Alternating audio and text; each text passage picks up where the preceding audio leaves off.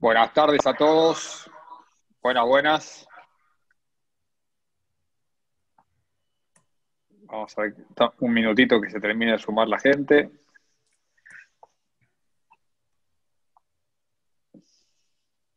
Bueno, buenas tardes a todos. Ya somos más de 35, así que vamos empezando. Bueno, bienvenidos a todos una vez más a una de las, de las tardes del CAS. Hoy tenemos otro día muy, muy especial. Eh, hemos llegado a la etapa de los constructores de autos y tenemos el orgullo, el honor de tener acá con nosotros a Rodolfo y a Cato Iriarte, que nos van a ilustrar de la mano de Lao y de Manuel eh, toda su historia y todos esos maravillosos autos este, que han ido construyendo. Así que eh, Arqui, Cato, muchísimas gracias por acompañarnos en esto.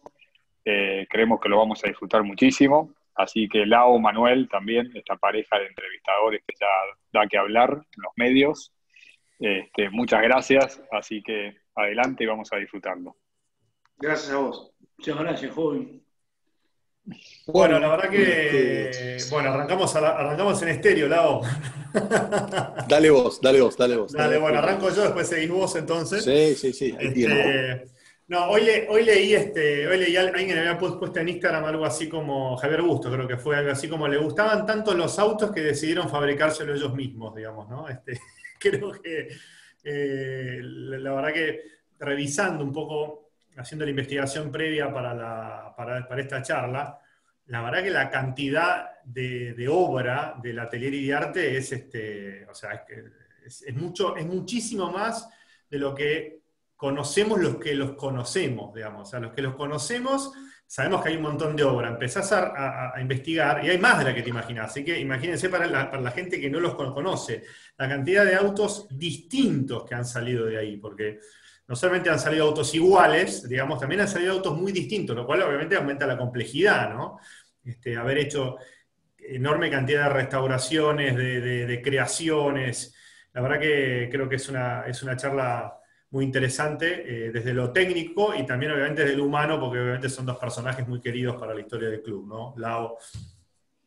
Eh, bueno, a ver, sí, yo no, no puedo, eh, todo lo que dijiste estoy totalmente de acuerdo.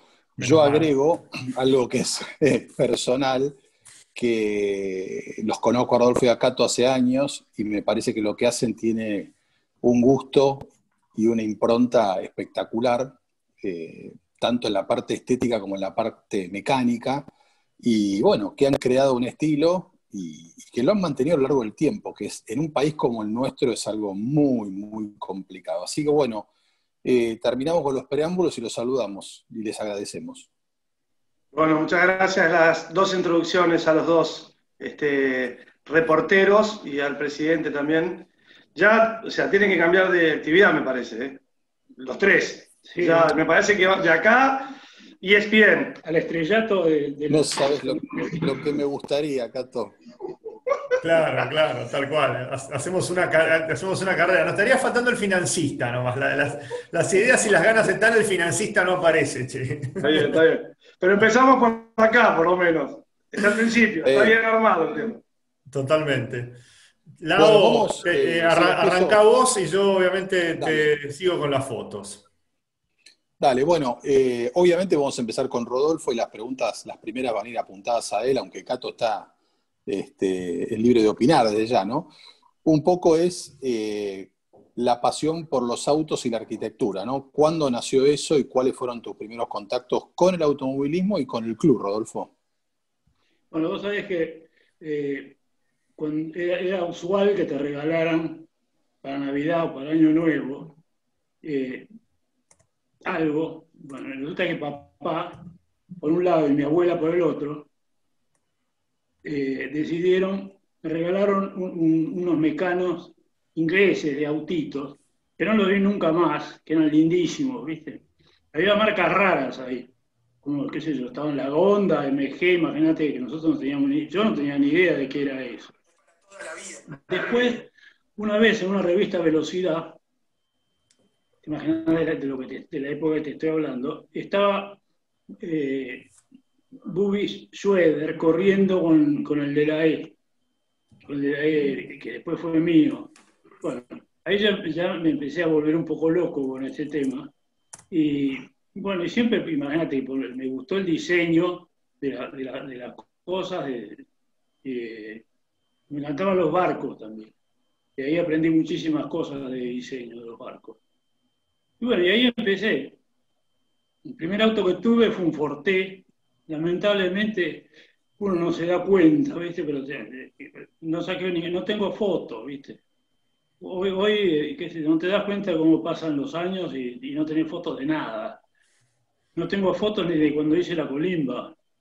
Era más ridículo que Tarzán con medias, ¿viste? Este, con un uniforme. Pero bueno, sí es. Este, sí, Rodolfo, y bueno, a ver, arrancaste con un Forte, este, casi ninguno de los que estamos acá tenemos fotos con nuestro primer auto, ¿no? Pero eh, arrancaste con un Forte, ¿cómo, cómo llegás al, mundo de los clásicos, al, al CAS? Bueno, vos sabés que siempre me gustaron los autos, los autos, cuanto más raros eran, mejor. Yo los compré cuando pude, ¿viste? Porque, eh, después de eso tuve una Bugatti, por supuesto tenía motor Chevrolet, ¿viste? Porque solamente Dios es perfecto. Y este, pero cambié por una, por una motocicleta y, cuotas. La motocicleta era un negocio que me había hecho hacer un tío mío que cuando salieron las gileras. Entonces me hizo comprar una que la compré no sé cuánto y después el, tipo que me vendió la Bugatti me la tomó en, en 38 mil pesos y yo había pagado 12, bueno, una cosa delirante. El tema era que la, plata me la había prestado mi mamá. Este, y las cuotas que tenía que hacer, la plata me la dio una tía.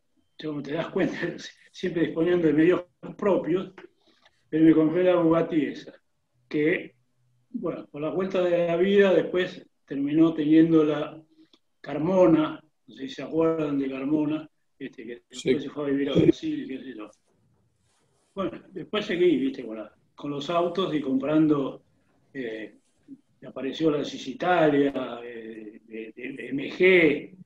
El cuento del MG es buenísimo porque... te preguntó cómo te acercaste al, club, Bueno, al, club me acerqué porque eh, Nicolás de Lepiane, a quien conocía, un día me, dijo, che, pibe, dice, ¿por qué no venís al club? Dice que, que bueno, bueno, ahí empecé a ir a lo que era el Sport en ese momento, que las reuniones se hacían en, el estudio que tenía Nicolás, mucho tiempo antes de, lo de Alcina, tenía, que tenía un, garaje muy lindo, este, y ahí, allí hacían las reuniones, y tenía guardados unos autos. Bueno, y, a él le encantaba también la, reconstrucción de autos y qué sé yo, bueno, y me mostró unos cuantos que estaba haciendo. Bueno, y ahí nos hicimos amigos y empecé a ir al club. Eh, bueno, en el club conocí gente pero extraordinaria, o sea, digamos, no, no, porque yo sea antiguo, pero caballeros en, en el estricto sentido de la palabra, como era Nicolás, padre, por supuesto. Eh, Lucio Goller, Vitito Mieres, el Colorado Polledo, eh, los Taló, bueno, una cantidad de gente extraordinaria. Bueno, y te hago una pregunta, Rodolfo. Ustedes, cuando el CAS eh, empezó, digamos, su segunda época, tengo entendido que tanto vos como Jorge Malbrán trabajaron en, refaccionar la nueva sede, ¿no? Del Sport. Sí, sí, sí, sí. Eh, en, el, en, el, en el, en el, Alcina. No, yo te estoy hablando del CAS ahora, no del Clásicos. Porque viste que Nicolás fue presidente del no, Alcina, fue presidente del CAS primero. No, Alcina no. ¿Simón Diondo decís vos? Sí. ¿Cómo era? No, no, pero yo esa, es esa es la sede de Simón Diondo, supuestamente la foto, no sé. Pero yo recuerdo haber ido también al, al, a la OTA, digamos, que están las fotos en el libro, eh, la, de, la calle, de la calle 25 de Mayo, ¿no era? ¿O Martín Omar? Martín, Martín Omar. Martín Omar, Martín Omar, yo me confundo. Martín Omar 352, donde está, ahora está el San Lucas, la parte de atrás, digamos. Que exactamente, exactamente, bueno, íbamos ahí, y ahí nos juntábamos muchos. Iba este, bueno, ya empezó a ir Gloria, y, eh, y también iba este Malbrán, iba Germán, Enrique, y este, bueno, una cantidad de gente, bueno, y que después yo te digo que mis amigos de la vida, la mayoría vienen del, por, el club y por los autos. Inclusive uno de mis mejores amigos, que se fue al, al cielo, espero, en inglés. Este, imagínate un amigo, eh, eh, tus mejores amigos inglés. Bueno, todo esto fue por los autos. Y todavía sigo teniendo amigos que viven en Inglaterra y en Francia también. Eh, Mira, hace un ratito hablaste, hablaste de, tus primeros autos de la Cisitalia, de la Maserati, de la Monofaro, del, del de la E. Acá tenés una foto que supongo que es en tu casa o en, algún garage que estás con los autos. Sí, sí, sí, sí, sí, sí, sí es en casa. Es en casa. Es el garage de la, digamos, de la primer casa cuando ellos se casaron y se fueron a vivir a San Fernando. Y yo estaba confundido porque ayer hablaba con, con no sé, con Santi o con alguno de ustedes, y la, digamos, está apoyado sobre la trompa del de la E. A su espalda está la Italia cerrada. A la derecha, por lo menos de mi pantalla, está el Gile, el chasis del Giley. Y adelante del Giley está la monofaro. Y al, costadito está la carrocería del Gile, que está, en este ahí se ve sin carrocería. O sea, la que está al fondo a la derecha, medio en penumbras, es la monofaro, la que dio vueltas por. Ahí, está, ¿ves? El culito de la monofaro, ahí está, esa. Exactamente, bueno.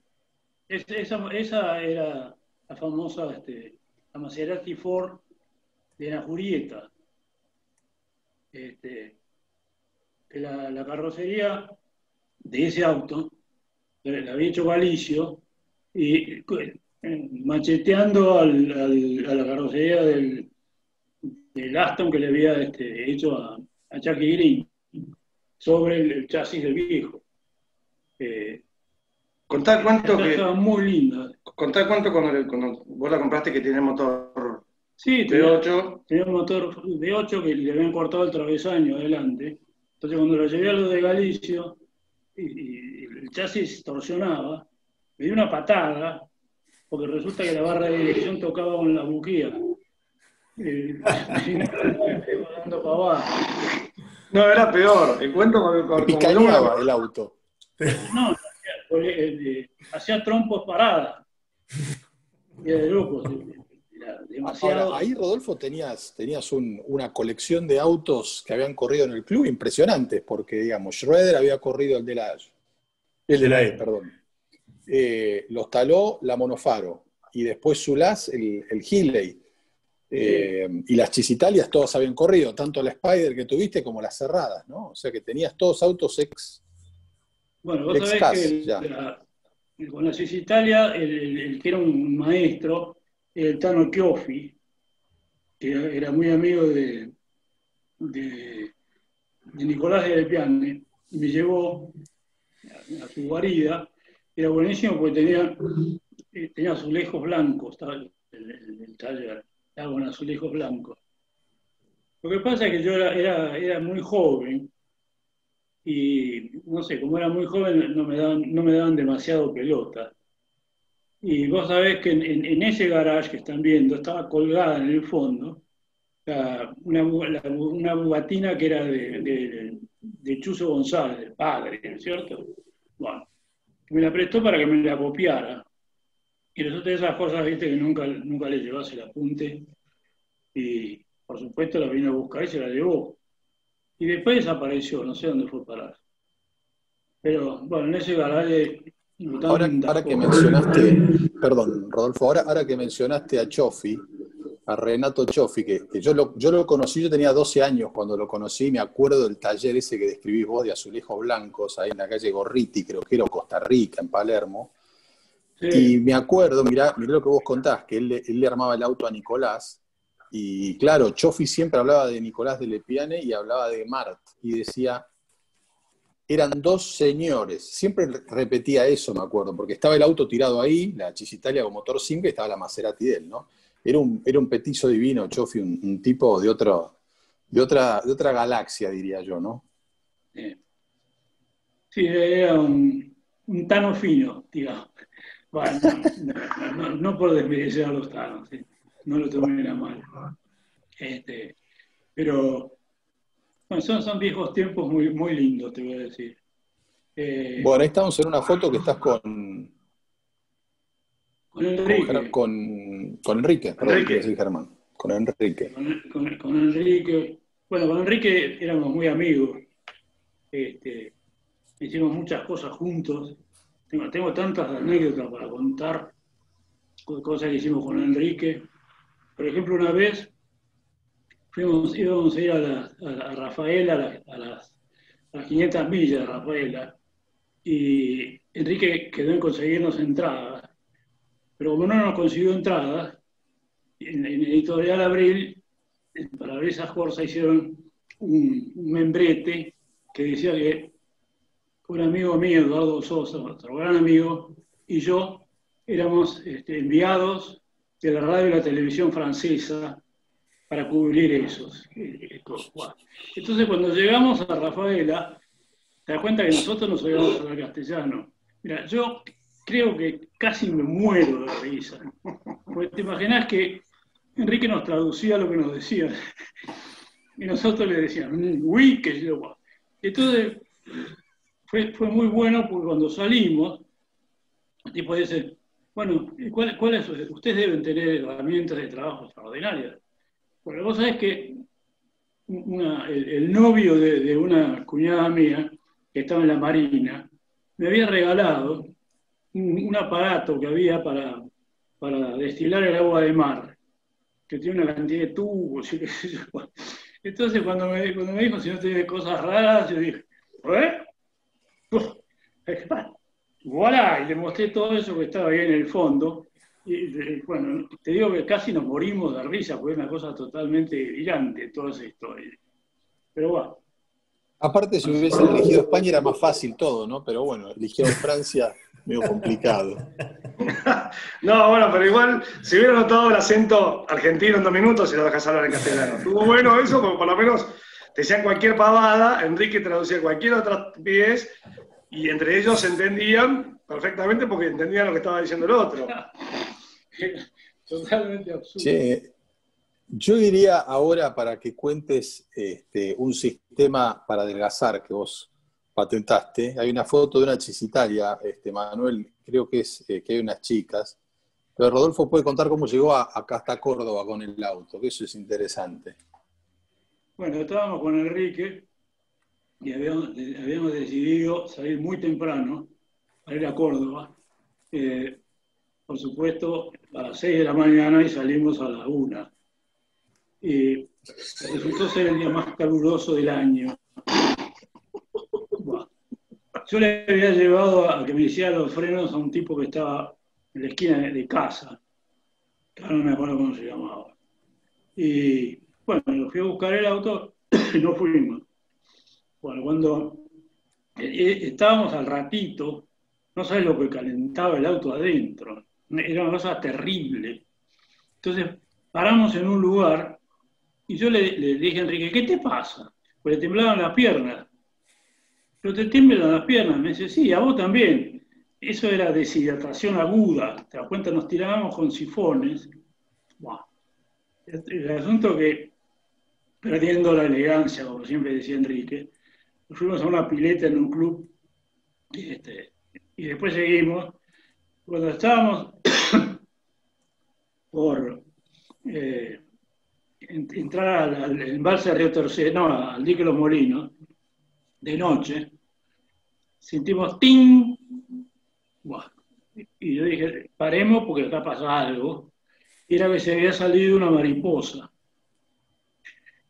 Y lo que no contá, lo que no, está, no dice ahí el libro, es que Enrique le agarró un ataque de odio porque había una vieja sentada con un sol de noche en el camino. La, la mariposa estaba al lado de la vieja. Entonces decía, ¿te das cuenta? No puede ser que tengas tanta suerte. Bueno, el asunto que pusimos la, la mariposa, bueno, y está, está el, el tema ese del delirio en la poesía, ¿viste? Las noches y que yo, bla, bla. Bueno, y al final llegamos a Córdoba alegremente, nos sacamos fotos, ahí estoy con... Pero el secreto es que llegaron, digamos, con unos kilos de menos. Sí, claro. O sea, deshidratados, intoxicados. Habiendo morfado, todo el viaje. Claro, o sea, es, es, el novedoso o el revolucionario sistema para adelgazar comiendo. Claro, por supuesto. Elegir Tenencia Italia a Córdoba el día más caluroso del año es la mejor, se lo recomiendo, mejor que, que Cormillot y cualquier otra cosa. Bueno, en esa foto están a la derecha, esa era mi mujer, la que está en el medio es una cuñada mía, y la que está a la izquierda es como dicen los, este, los cordobeses, la Marilú Palacios. Este, bueno, han pasado los años. Esa es la escalera de subida a la casa que tenemos en Córdoba todavía. Que la señora del medio, que Graciela, mi tía, sigue viviendo ahí. Esa era la Italia, que era, muy linda. Bueno, esa, hay otra historia también. De, cómo llegó a mis manos la Italia. Resulta que la había, había comprado un tipo que hacía instalaciones eléctricas y yo le salí de garante.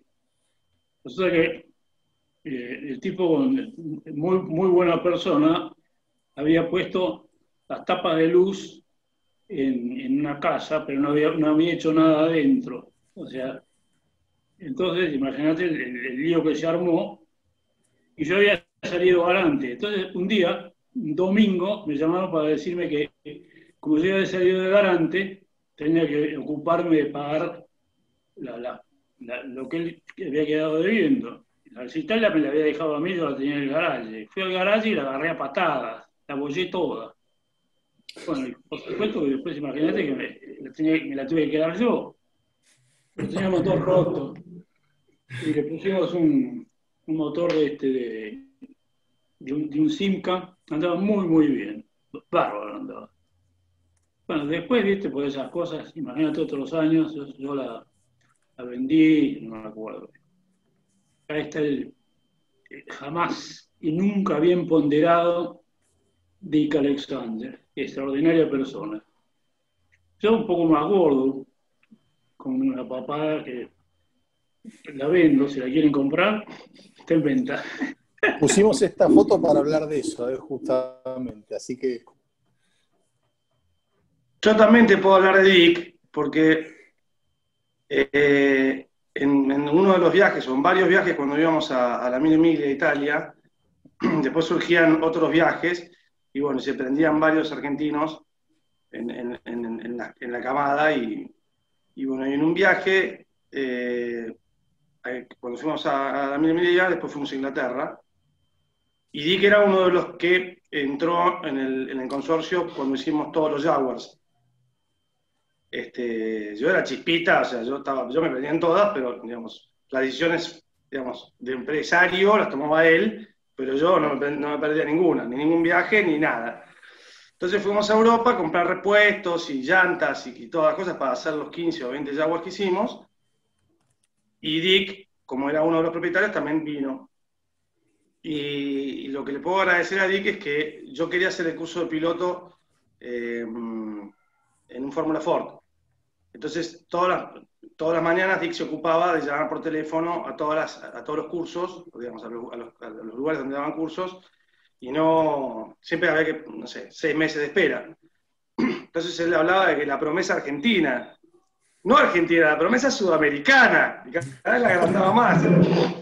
No, escúchame, este muchacho eh, no, no lo tiene que desperdiciar. Y así, todos los días yo escuchaba la cantidad de cosas que, que decía con tal de que yo conseguirme una butaca para poder hacer el curso, hasta que finalmente logré hacer este, el, curso gracias a él. Si, no hubiera, si él no hubiera insistido, la verdad, todas las mañanas se tomaba el trabajo de agarrar el diario o las revistas de autos y buscar y buscar, insistir, insistir, insistir, insistir. Y, bueno, con su perfecto inglés eh, se hacía llamar mi representante. Y bueno, gracias a eso logré. Lástima, no, no, no encontré fotos de eso, tengo el diploma y demás. Pero. Iba a preguntar, Cato, ahora, ahora que, que mencionas eso, yo no lo sabía, pero curso de Fórmula Ford en Inglaterra es, es algo, digamos, eh, premium, ¿no? O sea, ¿en qué escuela lo hiciste o en qué circuito? En el circuito de Castle Comb. Eh, era, una, era una subsidiaria de Jim Russell o algo así.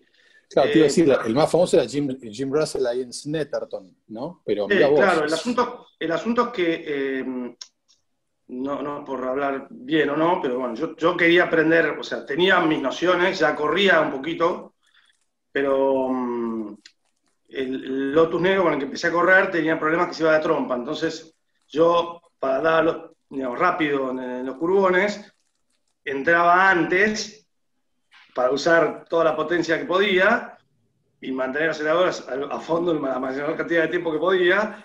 Y entonces entraba antes, iba digamos, usando toda la pista hasta, para, hasta calculando subir al piano al, final de la curva con la rueda doblando, o sea, doblando, seguía doblando siempre, nunca enderezaba.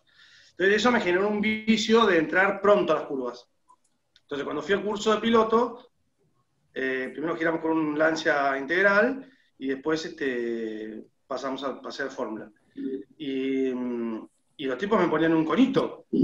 Me dijeron, tenés que pasar por afuera del conito y después entrar. Y yo decía, vos estás loco, me mato. O sea, por la percepción que yo tenía, eh, no daba, si pasaba por el conito me iba afuera, me metía dentro de la confitería. Y sin embargo, el auto doblaba, era un placer Fórmula Ford. Y bueno, y logré hacer el primer tiempo de todos los que estaban ahí, y con eso me, me dieron un diploma que me, me pagaban, eh, con el diploma también te pagaban la mitad de la carrera, la mitad del campeonato siguiente de Fórmula Ford en Inglaterra, que era la antesala a la Fórmula 2 y ya medio Fórmula 1. ¿no? todos los pilotos de antes pasaban por la Fórmula Ford. Y bueno, yo vine chocho acá con el diploma y acá estaba el problemita del 89 o saqueos y cambio de presidentes. Un, tema, un tema menor, digamos. Sí, sí, una pavadita. Yo iba con mi manual, con mi carpetita a pedir plata, o sea, imagínate, en dólares, en pleno, imagínate la situación. Con lo cual, bueno, ahí quedaron mis, este, mis intenciones, pero siempre... ¿Y cómo, cómo era manejar un Fórmula Ford? Porque tienen poca carga, ¿no? Nada, no, no, tiene ruedas descubiertas y cero carga. casualmente no tienen nada carga, es un, cigarrito. Este, y una cosa muy que me acordaba, que está relacionada después al tema del diseño, eh, eh, como los pilotos son, digamos, tienen diferentes medidas y, tamaños, eh, no había butaca. se ponía una bolsa de consorcio grande le ponían dos componentes del termo, del este líquido que se empieza. No, no, no, que se empieza. Poliuretano expandible o expansible o algo así. Empieza a crecer, a crecer, a crecer, a crecer, a crecer. Y cuando empieza a crecer, lo cierran arriba y te hacen sentar a, vos arriba de la bolsa. Entonces, bueno, quema un poquito, pero te lo aguantás. Y, el, y, el, y, el, toda la, la, butaca empieza a tomar forma, hasta tus costillas te copia. La, la cola, las piernas, todo. Una vez que termina de, trabajar eso, te, bajan, la recortan, le, la, encintaban toda con una cinta tape y esa era tu butaca. Y te subías y te juro que era como si estuvieras sentado en el mejor sillón del mundo. Y eso después lo aplicamos nosotros a los autos, digamos, por el tema de que manejar un auto también no solamente te tiene que gustar, eh, digamos, estéticamente o cuando lo mirás, sino también tiene que ser un placer el manejo, porque si no, eh, muchas veces te desencantás. Y bueno, entonces esa parte le dimos también mucho énfasis con papá mm. para, digamos, para que además de que sea lindo, eh, según nuestro criterio, también sea cómodo y sea manejable. Digamos, que no te moleste los volantes, no te moleste la pedalera, no te moleste lo que sea. Bueno, tenemos un, tenemos un maniquí que se llama Drúbalo Mortimer, depende, que tiene articulaciones. Entonces vos lo pones es un, es un muñeco de madera que se, se estira. Para la pedalea, la distancia, la pendiente eso. Es un, una, Mucho a medida, digamos. pero lo que quería contar Pará, pará. Que él no lo cuenta. Pero, Pero esta foto, esta foto, esta foto, bueno, no sé. Esta foto es el garage de la casa, de la segunda casa, no de las primeras fotos que mostraste antes, que casualmente, en donde está puesto el Healy, es donde yo duermo. Porque ese garage, cuando yo me separé, papá me lo, lo convirtió, es un, es un garage para cuatro o cinco autos, o sea, la parte de la izquierda no se ve, y papá lo convirtió en un loft, y ahí es donde duermo yo ahora, que estoy en mi vida de separado, o divorciado, o en proceso. Este, así que ver eso es recordar que yo estaba por ahí pululando todo el tiempo, y ahora estoy también pululando todo el tiempo, pero está el de la E una barra, por ejemplo. Lo Este, que pasa es que el, el, este, el espíritu de los autos se aposenta en Cato a la noche. Yo quiero hacer un comentario eh, que, digamos, creo que los que lo conocemos a Rodolfo, lo primero, primero que hacemos es asociarlo, creo, con el de la E con el Healy, ¿no? Son como, este, has, tenido cientos de autos, pero yo creo que por ahí los dos más emblemáticos es este, es- son, son estos dos, ¿no? Este, Sí, yo el que más quiero, lo tengo desde el año 64, es el Healy. O sea, pero te quiero contar una cosa antes que es muy buena. Resulta que eh, no te contó Cato, que en, el curso ese de piloto, no tiene duración. O sea, dura hasta que te lo quieren dar, porque, porque aprobaste. Entonces te puede durar un día, una semana, un año o nunca. Porque si no haces la cosa como la tienes que hacer, Resulta que este, a este niño se lo dieron en un día. O sea, hizo las pruebas, al otro día hizo otras pruebas y al otro día le dieron el diploma. O sea que debían dar más o menos bien. Bueno, ahí está mi, mi her- mi hermano, el, el de la E. Yo ya estoy un poco más, más este, entrado en carnes. Vos sabés que esa campera todavía la tengo. Esa, esa campera me regaló un primo mío que vive ahora en Estados Unidos. Bueno, Eso es contanos, eh, contanos del, del de la E un poco, y bueno, y de la foto también, Cato. Sí, bueno, el- el- ese era- esta foto era en un rally en, creo que fue el cruce de la cordillera o algo así. Y acá, en esta foto, esa, sí, esa. Y, Y esta esta- foto es papá con la misma campera, fíjate qué curioso. Y el que está a la derecha, aunque ustedes no, no lo crean, es Alberto, Alberto Lichtenstein, con anteojos de mafioso. en, su, en su etapa funky sería esta, ¿no? La Sí, etapa sí, funky disco de Totalmente. Berti, ¿no? Ojalá pudiéramos verle los pantalones para ver Uy, sí, abajo los pantalones ensanchados. Sí, olvídate. sí, estaba armado. El, el- el- el- el- el caño lo llevaba acá atrás en la cintura. Es una ¿Sabes especie de funky Viendo- mafioso, Sí, ¿viste? sí, un latino mafioso en Nueva York. Medio una cosa medio rara. Rodolfo, vos decías hace, hace un rato, perdón, vos dijiste hace un rato que, que un poco tu pasión había empezado con una revista de velocidad donde estaba Bobby Schroeder con este auto. Y si volvemos a la foto, Manuel, a la anterior, y los, te sacamos a vos y lo sacamos a Berti, es prácticamente la foto que estaba en velocidad con, con Bobby, hasta donde yo me acuerdo. Porque el auto está tal cual estaba cuando lo, lo corría él. Es increíble esta foto. Si salen ustedes, parece una foto de las primeras del CAS. Y sí, fíjate que también eh, eh, fue, fue mutando los faroles, después tiene unos, tuvo- acá tiene unos faroles Marshall y acá tiene unos faroles más chiquititos abajo. Este, y Ujú. Lo- lo- los faroles esos fueron a parar a, a una, una Bugatti de Enrique, Enrique Sánchez. Y después, como conseguí to- toda la bibliografía y todo, le, le puse los faroles como los llevaban esos autos, en general. Pero cuando la tenía Bubi, era eh, con los colores argentinos, o sea, era azul y, y- y amarilla. El capó amarillo. Sí. Esta foto ¿A en quién blanco y se lo negro, compraste vos, el auto? Se lo compré a, un tipo que se llamaba Jorge Rubino, que tenía una bodega, que había cambiado el auto por cajones de champán, pero una cantidad importante de cajones de champán. Este, y yo se lo compré. con el motor roto y que lo, pudimos arreglar después de 50 años, está arreglado el motor original del auto. Este, y me costó, te digo, sangre, sudor y lágrimas, ¿viste? Porque, bueno, ahí empecé a comprar repuestos de la E. Estoy hablando del año 70. Entonces, imagínate, tengo algunos repuestillos, que además se podían comprar porque no, no eran caros. Que el chiste de los autos estos, además, es que vos lo comprabas y eras un loco porque nadie los quería.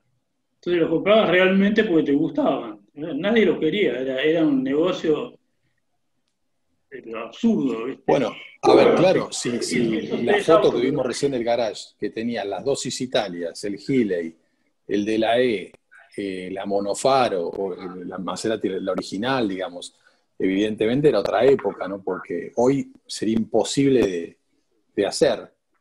Bueno, estos tres, estos tres autos que están acá en la foto también el mío. Fueron, o sea, el Gile está, la Maserati fue, o sea, la, tuvo y se fue, y el MGB, ese Colorado también fue nuestro y después el Paco lo dio. Con ese MGB hemos veraneado o sea, millones de. Se llama Punta del Este, hemos ido a, a cuando las mil millas eran a Córdoba. Eh, o sea, era un auto, lo usábamos como muy seguido. Yo iba a la facultad con ese auto yo le puse bueno, yo les propongo ahora. especial con una, una, tapa especial. Para, para que te está. ¿Qué? Perdóname, seguí. Dale, Cato, no, no, que, que, cuente ese Rolfo, yo después le pregunto una cosa. Esa rocha es con el, con el, con el Mercedes SSK, que también lo, lo compré, este, y después lo vendí en lo que quería que era una fortuna en ese momento. Y este, no quiero decir lo que vale hoy en día, porque es para llorar dos días, ¿no? Ese que está con el, en el medio de la foto, con el cigarro en la boca, es papá. Ese. ¿El otro es el negro Neira, no? No, ese es Eduardo Sosa. Este, ok. Sí. Extraordinario tipo también, muy buena, muy buena persona. Que yo debo decir que Rocha, Eduardo Sosa, Jorge Mabrán, ya después, fueron mis tres grandes maestros del tema de, sobre los autos viejos. Con ellos aprendí sobre, digamos, las cosas raras, ¿no? Sobre los compresores, las cajas cotales, los carburadores, los punzuares, las cosas exóticas que nadie, cuando tenías problemas no sabías qué hacer, bueno, ellos tenían siempre un libro o la solución, o ya habían metido mano en algo, este, muy hábiles, la verdad que muy, mecánicos y personas, además, yo, muy queridas por mí. Y obviamente por papá, ¿no? Pero para mí eran como tíos. Sí, a ver, hablando un poco de, de, autos eh, relacioné a Rocha, iba a decir, empecemos con el GPA, que fue el primer, tal vez el primer diseño que hiciste, Rodolfo. ¿El este? Hay que silenciar a alguien ahí, Damián. No, este, este, este yo hice los planos, el diseño, okay. que era eh, pero pose, ah, en, en, Italia estaban haciendo una copia de un Alfa Romeo, este, como toda mecánica Fiat, bueno, y de ahí los de, saqué esta historia. Y era muy lindo el auto. ¿Y por qué GPA? ¿Por qué se llama GPA? Sí. sí. Galusi. Era Galusi Prude en Argentina. Ah, mira, la era de Argentina, el otro día no lo podíamos descubrir. Es lindo el auto, ¿eh? ¿Eh? Es lindo el auto, la verdad es que es, un auto. Muy lindo dibujo. Bien logrado. Sí, sí, estaba, estaba muy bien hecho no, porque lo hubiera diseñado yo, pero estaba, tenía un chasis muy bueno, suspensiones muy buenas, todo, los motores, el motor andaba muy bien, un Fiat Boyaro, andaba muy bien el auto. Bueno, Creo que la próxima foto... El guardabarro largo, que es una cosa que me... Wow. Ese también es un, un este, uno, uno de mis delirios. Cosa que estaba pensando que los caños de, escape, esos de, acero inoxidable flexible, no se consiguen más, no hay en ninguna parte, salvo afuera. pero acá no, no hay más. Y en un artículo que escribió Enrique, decía que el auto ese estaba muy bien, pero lo único que tenía eran que los faros eran demasiado grandes.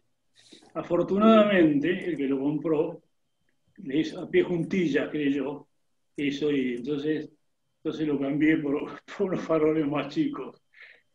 Lucas. Rodolfo, contanos, contémosle a la gente cómo se llamaba el auto y por qué, porque también es interesante eso, que no lo dijimos. Sí. Sí, yo tenía unos secuaces. Uno se llamaba Silva, otro se llamaba Torres, y, y soy yo. Entonces se llamaba Stover. Y yo hice un, un escudo, que lo hice, este, lo hice en madera balsa y qué sé yo, después lo barnicé. El tiempo que, uno, que, yo perdía, porque además me divertía, siempre, siempre me divirtieron las, las manualidades, este, hacer maquetas y todo ese tema. ¿Qué fue de este bueno, ahí salió Stover. Bueno, eso es, es, en Córdoba. Esta es la misma, otro viaje con otra tía o digamos, siempre, siempre estos chicos pasándola mal. Mucha tía en bikini, Cato, en la foto de ustedes, ¿eh? Por eso, esto es en la misma casa de, la, de Córdoba, que se llama La Choza, casualmente, y, y todos los veranos ellos, imagínate, se iban o en Italia o en el Stoir o en lo que fuera, a hinchar las bolas en el verano, y siempre con sus, decíamos, amiguitos, o sea, mamá estaba, estaba casado él, pero siempre mis tías o amigas, o sea, se divertían, digamos, no, no, no, no eran jóvenes eh, normales y tranquilos, sino que eh, tenían inquietudes de todo tipo. Bueno, a raíz de haber ido siempre con autos raros ahí a Córdoba, un día apareció un tipo y me dijo que cuánto cobrábamos, si yo era de algún club, cuánto cobrábamos para llevar los autos ahí a, para hacer un, un, una gran movida del centro de comerciales de ahí de Santa Rosa de Galamuchito. Y yo le dije que nosotros no cobrábamos nada, pero tampoco pagábamos nada. O sea que, que no, no, nos fuimos en el, fue en el 81 eso. Hicimos un, un rally que este... Se llamó el rally de Abel Epoch. El rally de Abel Epoch, que fue muy divertido. Que hay fotos, vos, vos pusiste lado fotos creo que en, en, en sobre el, en la historia del club o, o, sobre los sports o en, otros capítulos de, del circuito callejero que se hizo cuando también la Maserati de Michael se sube, a la queda de papá, que era de Michael en ese momento, se sube a, arriba del, del digamos, del, de la entrada de la casa. De una, de una casa, de la, casa sí. la gente estaba tomando mate. Y entró Y Michael ahí terminó el evento. dijo que había ido a saludar a la gente. No, no terminó ahí, la carrera terminó ¿No? perfectamente, no, hubo nada Ah, riesgoso ¿sí? ni nada. No, no terminó. Yo estaba, yo estaba en otro sector del circuito, pero, pero no, no, no es que fue riesgoso ni casi mata a alguien ni nada. Se estiró un poquito el frenaje, era un circuito de, mm, digamos, sobre una costanera que había tierrita y qué sé yo, y bueno, por ahí fallaron un poco los frenos, y al picar en el cordón se levantó un poquito y se subió a una, entra- a una entradita de una casa. No, no es que entró adentro de una casa y... Igual no está bueno contarlo, ¿eh? ¿Eh? Igual no está bueno cuando lo contás. ¿eh? No, bueno, o sea, se, se corrió, o sea, se pasó por 5 metros, no es que se pasó, no es que entró a la casa y rompió el televisor de la, en el- dentro del living, no. La casa se acercó demasiado al auto.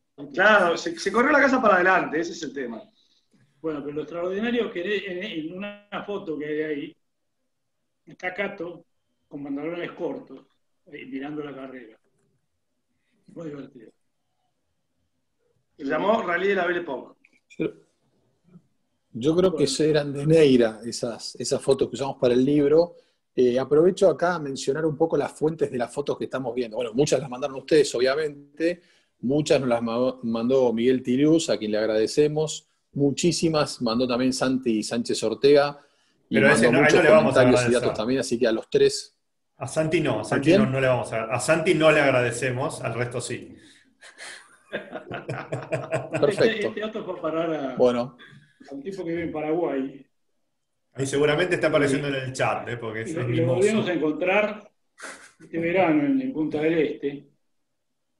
Entonces me encontré con el auto.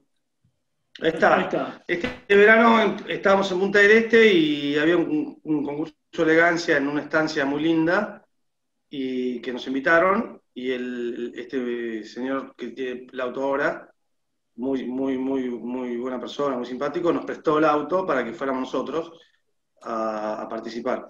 Y, y, la verdad que andar en, en, ese auto después de tantos años que, digamos, yo, yo lo he usado mucho, Malo, eh, a mi hermano, porque este auto se hizo papá a mi hermano. Como siempre, para cuando, o sea, cuando tenía nueve años, ¿no? No, no para cuando tuviera 18, para cuando tuviera nueve. Este, ya a los 11 estábamos volviendo con, con auto nosotros. Bueno, eh, este creo que es Dani Claramón, no sé si es Este es Dani Claramón, sí, correcto, sí, sí, sí. Es el año 87. Papá se lo vendió después a Claramón y después Claramón, no sé, lo, vendió y terminó en manos de este, de este señor de Paraguay, que es un argentino que vive en Paraguay, por eso la, tiene patente paraguaya ahí, pero esto es en Punta del Este el último verano, antes de la, o sea, pre-pandemia. Hmm.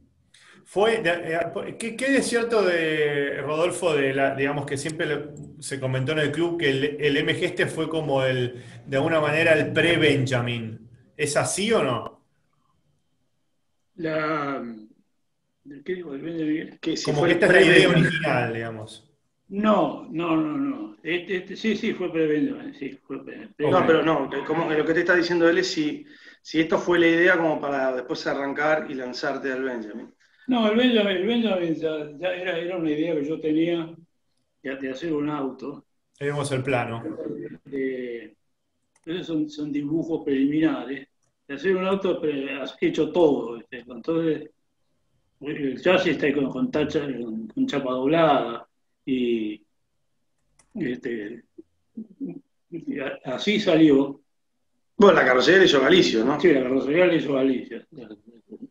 Lo, lo, gracioso del, tema, que el escudo Benjamin, yo, yo se lo pedí a Raúl Kosulich que nos trajera de Francia, estaba en Niza. De, un catálogo, de un catálogo. En Niza estaba. Sí. En un museo en Niza. Bueno. Y resulta que el, el, como el catálogo estaba, no, decía el tamaño que tenía. Tiene un, tamaño respetable, que no lo podés poner en una, en una máscara ni por equivocación. Este, bueno, ahí está, mira. el mío, después el, de eh, Marcelo Castiñeira y el otro. El de Briones. Ese de, Briones. No, el primero es el nuestro. O sea, el primero de, atrás. En, el orden de cómo se ven, ahí estoy yo, ahí está. El, primero de la izquierda es el de Briones, el del medio es el de Castineira y el, el de la derecha es el nuestro. Y ahí está Marcelo Castineira con papá y a la derecha estoy yo con Dani Berni. No, en realidad estás vos, unos pelos, y abajo de los pelos estaría Dani Birni, ¿no? Por lo que veo. Exactamente. Sí, sí, sí. El melenudo. El melenudo. Es, espectacular la melena de Dani, espectacular. y aparte, imagínate, pará, pero aparte, imagínate que si vos miras bien la foto, eh, el, acompañante no tiene, no tiene Brooklands, no tiene parabrisas.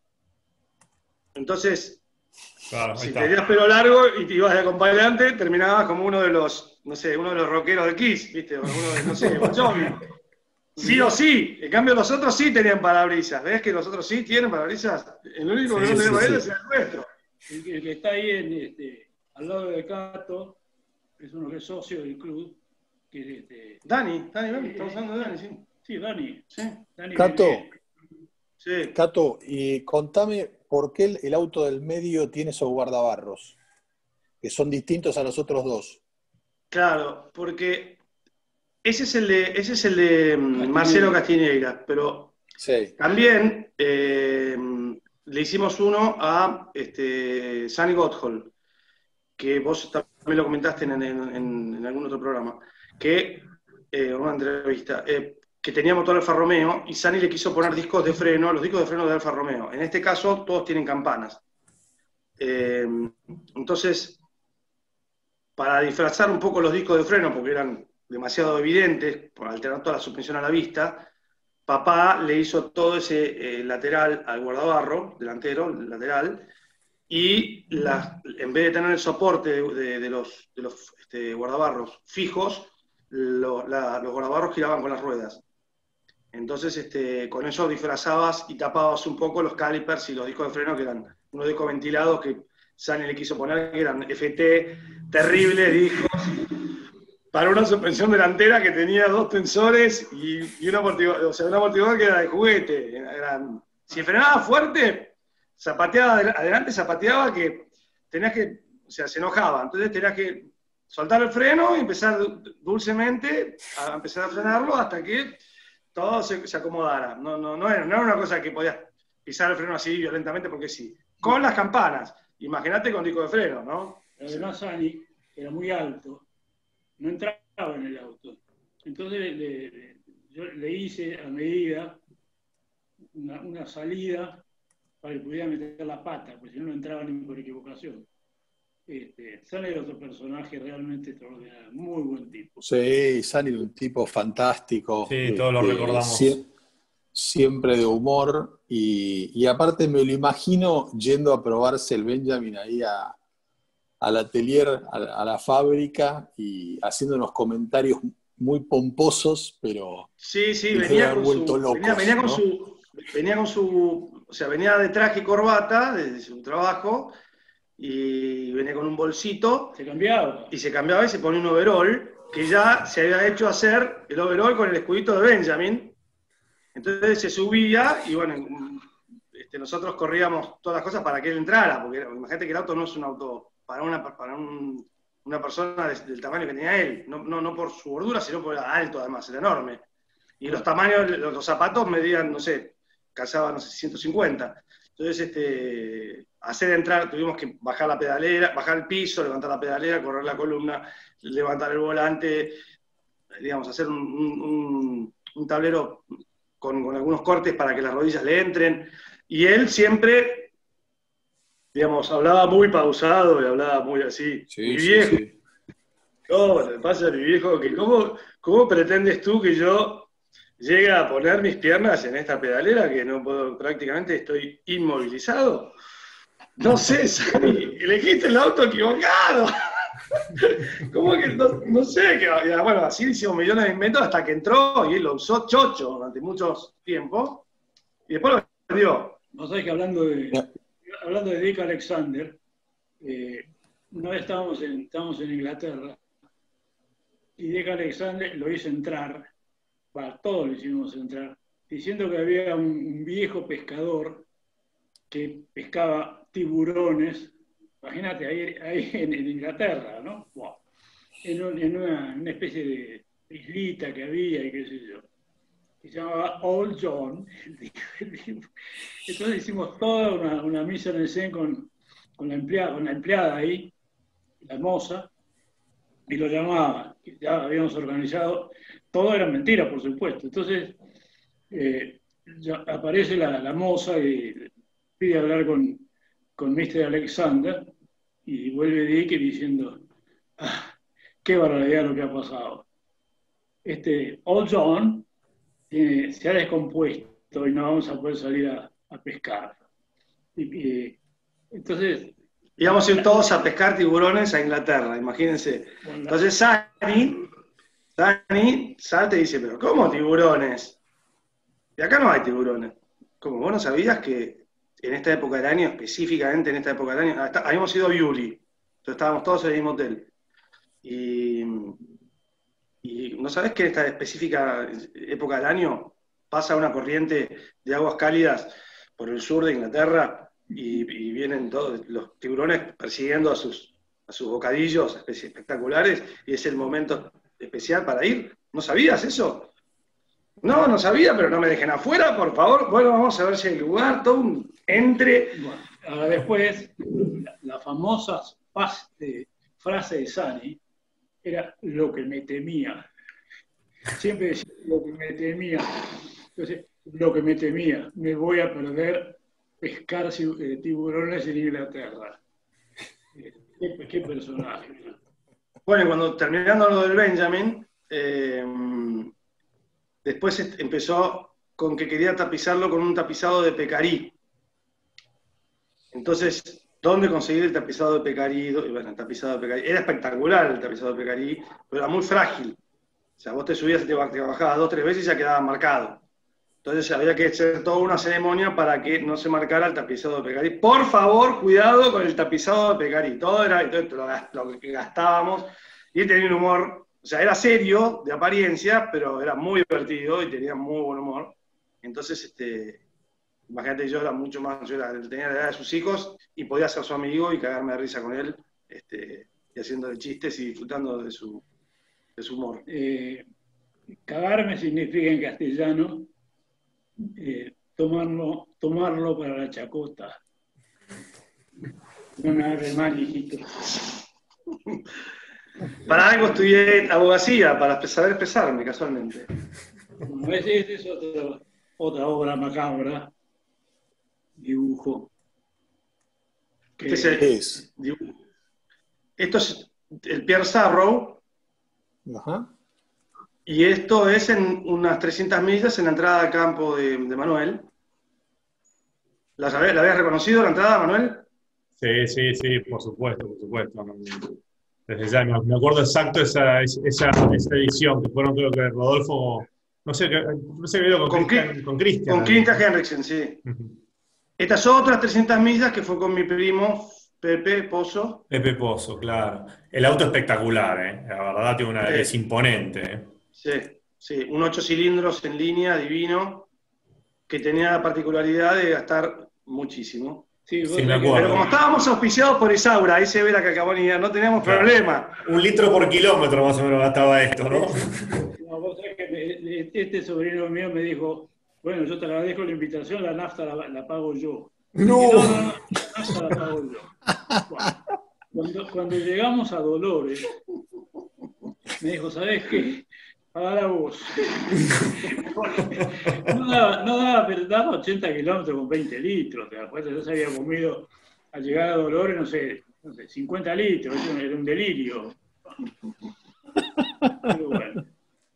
Bueno, esto, esto ya, ya empieza, o sea, eh, con, este auto ya empieza la, parte ya del diseño más, digamos, de pasar de la, de la, mm, situación de, mm, digamos, de hobby que tenía papá, ya mm, yo ya me había sumado, a pesar de estar estudiando, yo ya me había sumado, entonces ya jugábamos a, los autitos y bueno, y que me gustaría este, y me gustaría lo otro, y qué lindo este, bueno, pero tiene que tener capota, pero tiene que tener esto, y así empezaron los dibujos y los, digamos, y los este, primeros esquemas de varios autos que, bueno, después durante, durante toda la vida seguimos haciendo, ¿no?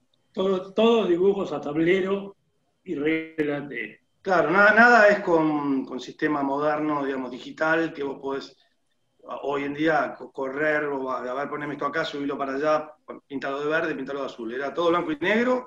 Y es como digo siempre yo, digamos, lo que le pasa a un pintor o, o un escritor lo que fuera eh, de una hoja en blanco. Y cuando yo le digo romper el blanco, eso es, terrible, porque es el primer la primera línea te condiciona. Y bueno, esa es la habilidad que tiene él. Él tiene esa mano de dibujo y yo tengo mis aportes, digamos, que por suerte me da bola. Y además, también este, yo le agrego que después yo digamos, los uso y los testeo, entonces después por suerte los autos funcionan bien de acuerdo a mi criterio y a de las personas que lo usan, ¿no? Acá hacemos un pequeño salto al pasado, me parece, la y por el orden que, tenemos manejando, que es volver un poco, vamos a ir un poquito para atrás, ¿no? Con el famoso lenguaraz, ¿no? Rodolfo, ¿nos puedes contar algo de qué, encontraste, qué, cómo lo, armaste? Tiene una historia muy divertida. Resulta que yo fuimos a comprar con Enrique a, a un, desarmadero que se llamaba Bigote que quedaba en, San Andrés de Giles. Y estaba el que había sido el famoso eh, de, de, Valiente. El anticristo. El anticristo de Sáenz Valiente. Bueno, que, que, tenía un motor Ford. Estaba la parte de adelante y la parte de atrás. Pero la parte del medio no. O sea, porque lo, habían cortado, ¿viste? Pues esas cosas insólitas que pasan, pues entonces yo lo compré. Y como tenía el eje Ford adelante, que andaba dentro de un tubo, entonces a mí, a mí no me gustaba nada. Entonces por le hice ese, ese babero y por eso se llamó el lenguaraz. Andaba muy bien el auto este. no sé a quién se lo vendí. Y los faros esos, mira, cada vez... A Lana se lo vendiste. Sí. Cada vez que veo esos faros, pues que esos faros, ¿sabes? en, el, museo de, de Schlumpf están eh, los faros que eran los de las locomotoras. Las, locomotoras que hacía Bugatti, bueno. Mm. Yo tenía tres. Me quedé con uno y los otros dos los puse ahí. Me quería matar cuando, cuando lo vi. Y andaba acá, muy bien. Acá, espera, quiero hacer un, comentario un poco lo que dije cuando empezamos la charla, ¿no? Me parece que este auto, Manuel, si podemos volver a la foto, a la otra, que está más de perfil, que lo que yo decía, digamos, que la impronta que tienen los autos y, el carácter, ¿no? Y ayer hablamos con vos, Cato, del tema del, chasis surbacé, ¿no? Lo que los, los franceses llaman surbacé, el chasis bajo en autos que en realidad eran antiguos, viste, como los de Lash de carrera. Y este auto me parece que tiene un chasis de ese tipo que, es espectacular. O sea, más allá, creo que vos me dijiste algo de la suspensión de atrás, aparte, que era una suspensión, ahora, vos lo podés explicar mejor, pero este auto me parece que tiene una impronta y un estilo espectacular en ese sentido. Bueno, pues que tiene, el, diferencial, es un diferencial Ford con reenvío, o sea que es una cosa que macheteada de las Maserati, que tiene una tapa que vos sacás, sacás de atrás y cambias los engranajes para cambiar las relaciones. Para Zumba, no te quiero contar.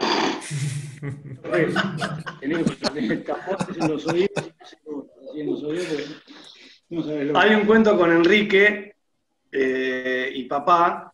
Estábamos volviendo del, de San Ramón. Eh, y, Enrique tenía un, un XK120. Y venía Enrique con, con, Jorge, con Jorgito creo, o con Santiago, no me acuerdo, y papá y yo en el relay. Enrique en el Jaguar. Y bueno, se empezaron a aprender en una ruta de tierra, aprender, aprender, aprender, fuerte, fuerte, fuerte, segunda, tercera, cuarta, cuarta y cuarta fondo. Y papá apretó el acelerador a fondo y estaban los otros que iban viste que cuando escuchás el eco del motor del otro, ninguno se pasaba, ninguno se pasaba ni, ni, ni podía sacar ni un metro ni ninguno al otro. Y de repente, bueno, había una, como todo campo, había una, curva de 90 grados. Este, y papá saca la pata del acelerador y yo veo que se, se, altera. Y el auto seguía acelerado a fondo. Y, y veo que empieza a pegar manotazos y a hacer cosas, y bueno, resulta que se había pasado el acelerador, le había pegateado tan fuerte el acelerador que se había pasado el acelerador para el otro lado del, digamos, del, de la, no, de la caja, de la caja, del, digamos, el pedal se pasó del otro lado donde va justo la caja, ahí el arranque relay tiene, bueno, es un, un, espacio complicado. Entonces, yo me agaché y, con el zumbido todo el motor andando a, a lo que daba, manoteé el pedal lo de y papá lo pudo frenar, hicimos un trompo, no sé, terminamos un trompo por ahí en el medio de la tierra, y este y en el trompo a mí me entró una cantidad de, tierra en los ojos que quedé, no sé, prácticamente desde ahí hasta que llegué a Buenos Aires no, tenía ni gotitas ni nada, quedé prácticamente llorando, pero no, no lloraba por el miedo ni nada, me pareció una aventura espectacular, lloraba porque no me podía sacar el polvo de la cara que tenía, en la, la cantidad de polvo que tenía en la cara. Y bueno, de ahí empezaron mis problemitas de ojos que siempre tuve, que me, digamos, tengo un magnetismo que se me cruzan piedras y los agarro yo, siempre yo, piedritas O arena. Sí, arena, piedras o fragmentos metálicos.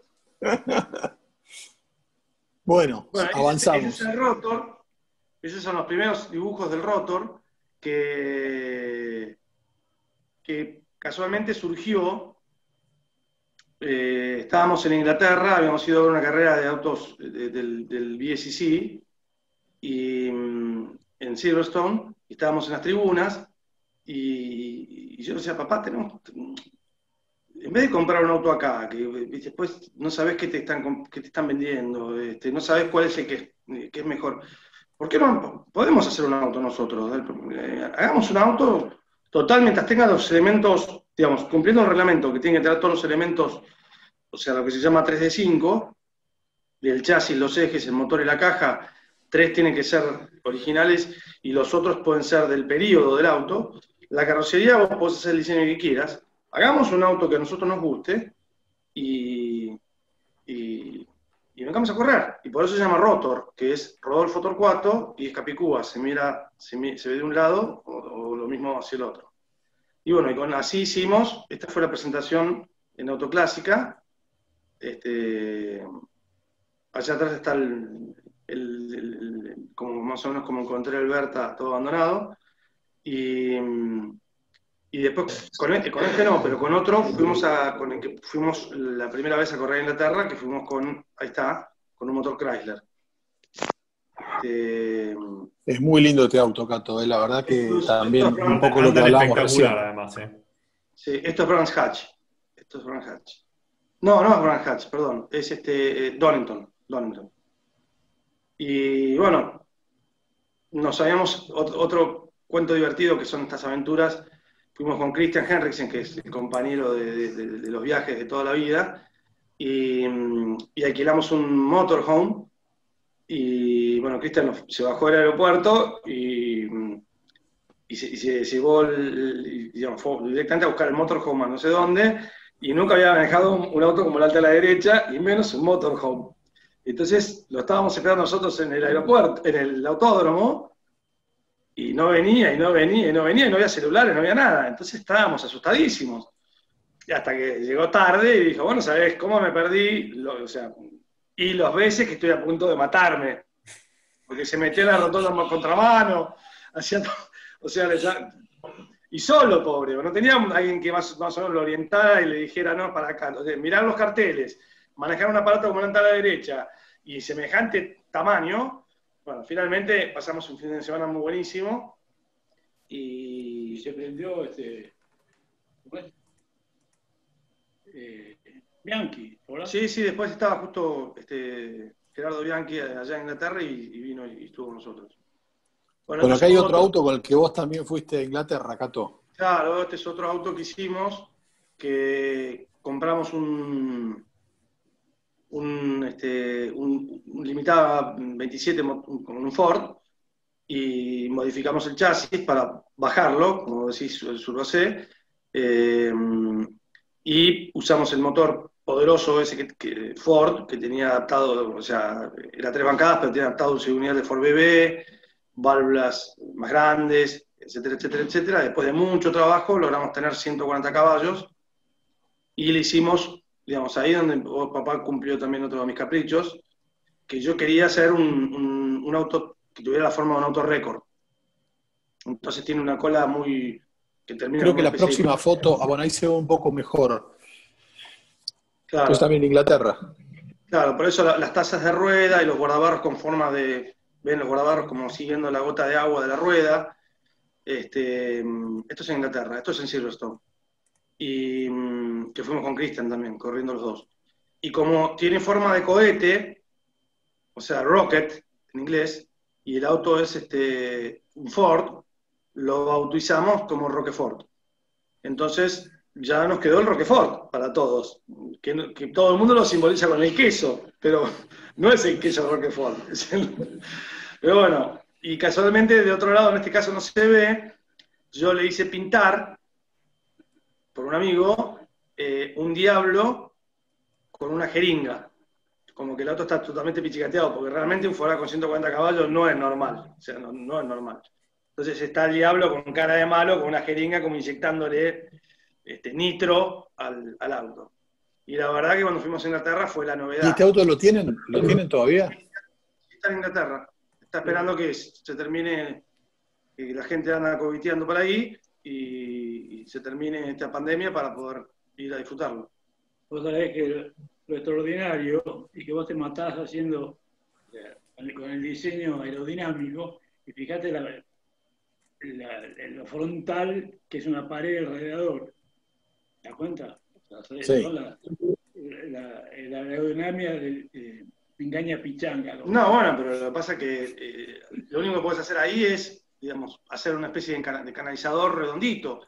Pero el, asunto era que ya el babero que tiene es bastante, o sea, fíjate que tiene piso plano, o sea, tiene todo el, babero y además tiene un fondo plano. Y estas cosas son de madera. Y después el eje está todo canalizado como, como si fuera gota adelante de madera y atrás de madera como si fuera una gota, gota de agua. No o sea, tiene mucho trabajo. Los, los faroles traseros también tienen terminación de cono, o sea... Y tiene, un agujero en la cola, una boca al revés, para que salga el aire.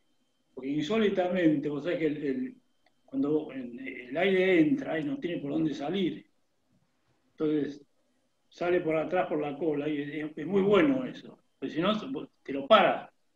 Sí, realmente, aparte se refrigera todo, ¿no? ese es otro tema. Otro, el piloto, el también. Estamos hablando de autos que son del. Eh, todo, todo el auto este es de 1927. 1927. Eh, la verdad que entraron un curvón en Silverstone a fondo.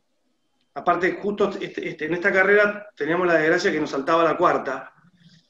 Y justo, o sea, vos entrabas en cuarta a la recta, levantabas y entrabas al curvón. Y seguías en cuarta. Y cuando levantabas para entrar, saltaba la cuarta, la cuarta. Entonces te entrabas en punto muerto. Entonces este, le pusimos resortes más duros, todo, pero por las dudas, este, entrábamos con una mano y sosteniendo el cambio en cuarta. Porque fuimos a correr Cristian y yo, los dos. Corrimos eh, dos carreras cada uno. de las cuales ganamos una. Y,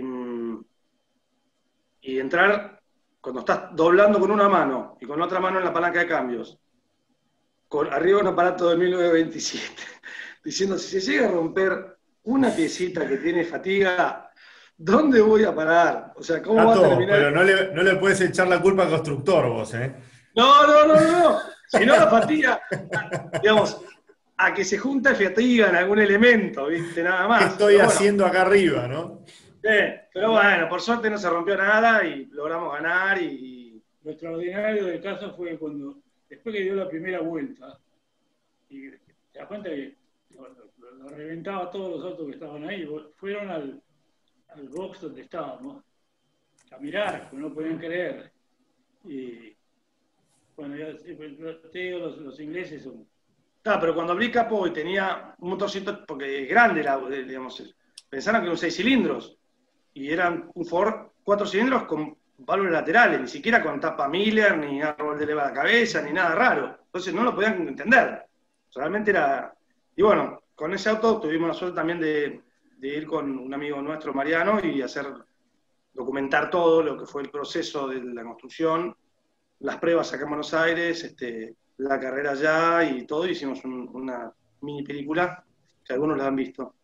muy buena, versus Silverstone. Así es, así es. Muy buena, muy, muy buena. Este es un Delage, que también otro delirio. Este, son, todos delirios igual, Cato. No, no delirios porque, porque el tema es así. O sea, fija, este, este, en realidad fuimos a correr antes con este auto que con el Rocket.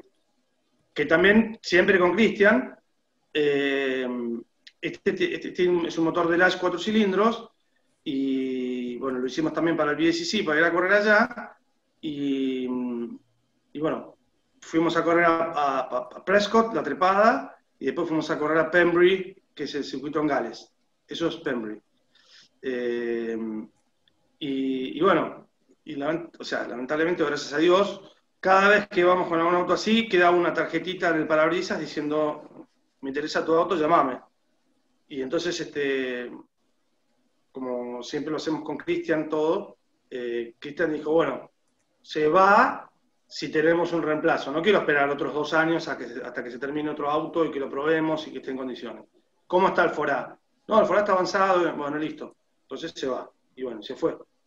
Pero también este otro auto era muy lindo. Habíamos elegido un color que... Sí, yo elegí el color. Yo elegí el color y papá me mató. O sea, cuando lo vieron por primera vez me querían matar. Me dijeron que era Gladys. No, este, no, no, estaba tremendo, Cato. Este no, no, me parece, ¿eh? me parece un color espectacular para ese auto.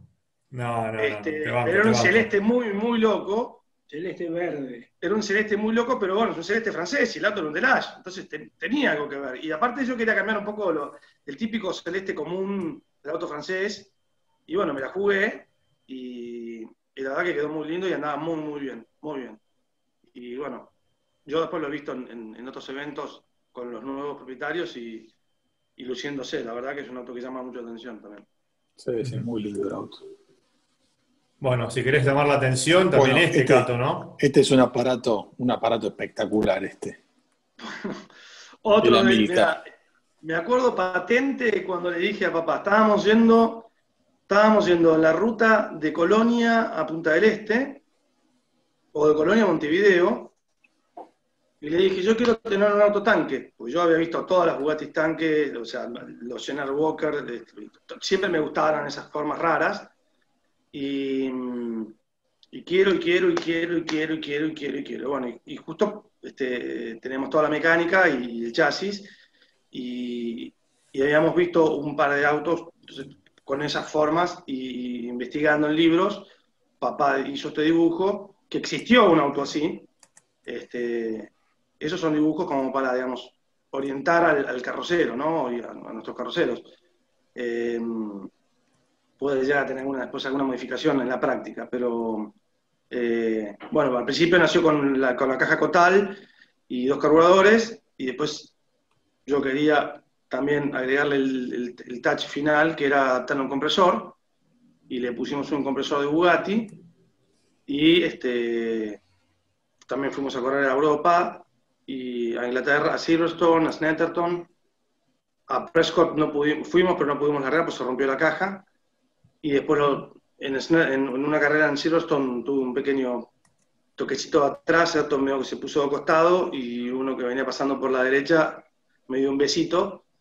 Entonces decidimos traerlo acá y, arreglarle bien la carrocería y, potenciarlo más aún, cosa que acabo de terminar de hacer. Y le sacamos 165 caballos este, a un aparato que pesa, no llega a los 600 kilos. Así que. Tiene. Eh, Rodolfo tiene, tiene mucho de la, de la Bugatti Tank, ¿no? O sea, tiene elementos muy parecidos al de la, a la Bugatti Tank. Me imagino que también te habrás inspirado en eso, aparte de la Milcar que debe haber, haber habido, ¿no? Pero. Sí, la Bugatti Tank no, no tiene su guardabarro. No. Pero. Eh, pero el frente sí es muy parecido. Sí, vos sabés que hubo una, una, especie de, de, era, porque el, o sea, Bugatti hizo, General Walker hizo, este, Amilcar hizo, Boissan hizo, hubo varios autos que, hubo varias marcas que, ensayaron con formas, y se les llama tanque por lo cuadrado, digamos, porque parecen, se parecen a los tanques de la Primera Guerra Mundial, ¿no? de la Segunda Guerra Mundial, pero pero en realidad estaban haciendo explorando un poco, eh, digamos, figuras aerodinámicas para salir de lo que es el típico radiador y guardabarros y faroles y demás. Y bueno, sí, aparte, bueno, eh, Bugatti, Bugatti eh, específicamente explicaba que la Tank, él había utilizado el perfil alar, ¿no? Es decir, este, y bueno, la tanque es un auto, pero todos los autos así acorazados son espectaculares. Ahora que mencionaste al Boissan, es verdad, tienen un auto así también que era, era un delirio, ¿no? Sí, el, el laboratorio, creo. Laboratorio, exactamente. Laboratorio, sí. Era, hubo dos. Corría la misma carrera que, el, que la Bugatti Tank, que es el Gran Premio de Tours, creo que del 23. Sí, que tenía este, este, como Guasán tenía, digamos, su, formación y eh, en realidad fabricaba aviones también, este, mm, la bomba de agua tenía una particularidad que la, accionaba una pequeña paleta adelante del radiador. Entonces, si vos mientras vos estuvieras andando, el viento hacía mover la paleta y accionaba la bomba de agua. Pero cuando vos frenabas, la paleta no, funcionaba, no andaba más y la bomba de agua no andaba más y se prendía fuego hasta, hasta, hasta las mangueras esas cosas vienen de, digamos, de un tipo que pensaba con lo básico, no, quería poner una correa, ni una polea, ni nada, que la bomba de agua la haga girar una, una, este, una turbinita o no sé, una cosa rarísima. Vos sabés que, bueno, esos son... Acá ya pasamos a los autitos. que son, este, bueno, esa es mi hija, antes de que, pobrecita, antes de que naciera, ya nosotros ya estábamos con todos los planos, casualmente parte de los planos de, los, de varios dibujos. El primero que hicimos fue el Benjamin, casualmente, que papá todavía, o sea, conservamos los planos, ahí los vieron. Eh, entonces, con los, con los planos hicimos, lo hicimos en escala, que es uno en dos, y bueno, hicimos la carrocería en madera y después lo matrizamos y, lo hicimos antes de que todavía no había nacido, mi hija ya estaba el autito esperándola. Y después, este, bueno, ocurrió lo mismo que con otros autos que hicimos. Bueno, quiero uno, quiero uno, me uno, me uno, y ahí, bueno, empezamos a hacer. Y un alemán nos pidió este, el SSK, que es este que están viendo acá. Eh, después hicimos el MGK3 para, para el aniversario de MG. Y después hicimos el Porsche 356, esa también es mi hija, está el MG verde a la derecha, ese es el Porsche 356, eh, que los pusimos cuando se inauguró Nordenwagen acá, en la, nueva mm, agencia en Libertador. Y, y bueno, los alemanes, vinieron los alemanes que trajeron un Porsche y demás, el que había ganado Le Mans ese año, y estaba el autito este al lado del Porsche que había ganado Le Mans y los alemanes estaban chochos. Este fue el primer Porsche que, que Ferdinand Porsche hizo, que es el 356A. Es el primero que hizo, que se llamó Porsche, digamos. El primer auto se llamó Porsche. Y bueno, y si, ahí falta el Benjamin, que es, eh, debe haber alguna foto, ¿no? Que lo hicimos también chiquitito en la escala.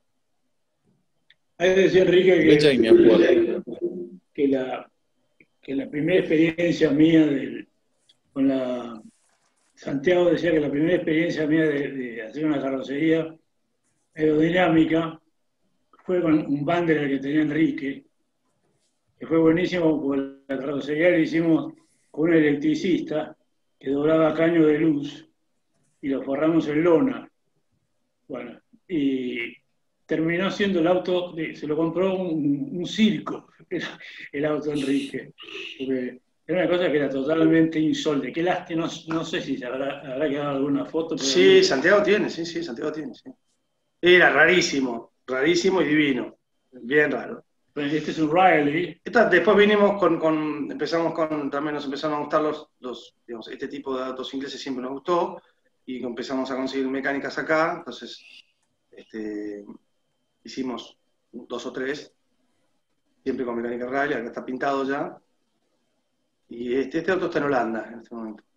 Y también hicimos algunos rallies acá, lo probábamos y bueno, después iba afuera. Este, también muy lindos porque, bueno, ese es el, el Son of a Beach, que tiene, tiene una, una explicación. ¿Por qué Son of a Beach? Yo, otro capricho que papá me cumplió, yo le dije, tenemos que hacer un auto para la playa. Entonces, este, para poder a, Punta del Este y no, digamos, no estar preocupados por llevar un auto que sea muy, digamos, que, se pique, que se rompa, que se lastime, que la arena, que esto, que lo otro. Entonces este, lo hicimos todo de madera, salvo el capó, todo lo demás es de madera, como si fuera un barco, relacionado al tema del mar y la playa. Y este, también tenía que ser un, eh, práctico para poder ir no solamente dos personas, sino ir cuatro personas a la playa. Casualmente ahí está la foto que se abre el baúl, que es lo que se llama el matasuegra, y eso que están viendo ahí, eh, aparte del plano, papá hizo la maqueta, que es esta, no sé si se ve bien ahí. Y acá está el baúl que se abre. No, más, más arriba, vamos a ponerlo, gato, más, más, cerca. Levantalo más, Tato, porque no, no se llega a ver.